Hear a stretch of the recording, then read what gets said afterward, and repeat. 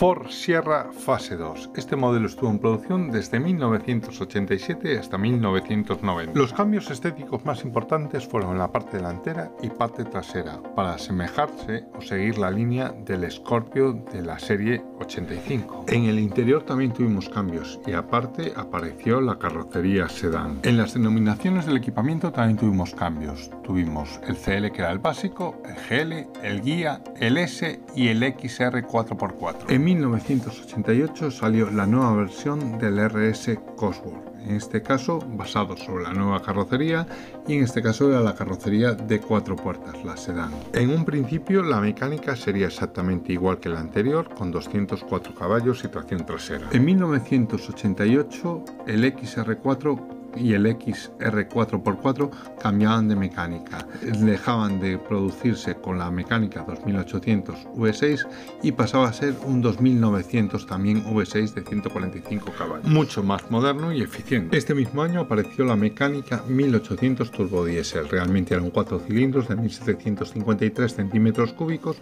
con 75 caballos. En 1989 aparece una nueva mecánica de 2 litros de culata de 8 válvulas con 120 caballos de potencia. En 1990 se vuelve a renovar la gama. Los pilotos de intermitencia delanteros pasan a ser blancos en lugar de ámbar.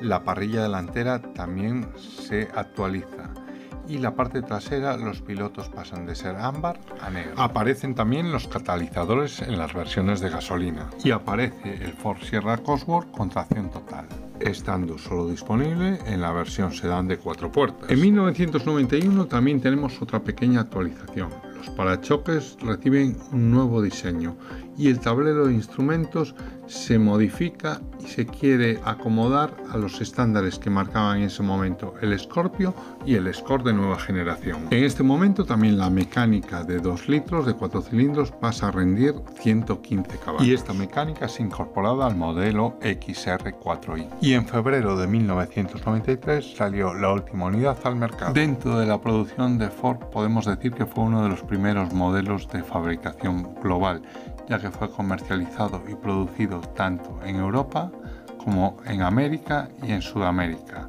Se produjo en Alemania, se produjo en Argentina, se produjo en Bélgica, en Estados Unidos, en Inglaterra y en Venezuela. Y aparte fue exportado a muchos mercados más. Hoy en día, como clásico, las unidades más apetecibles, lógicamente, son las más potentes y sobre todo las carrocerías de tres puertas.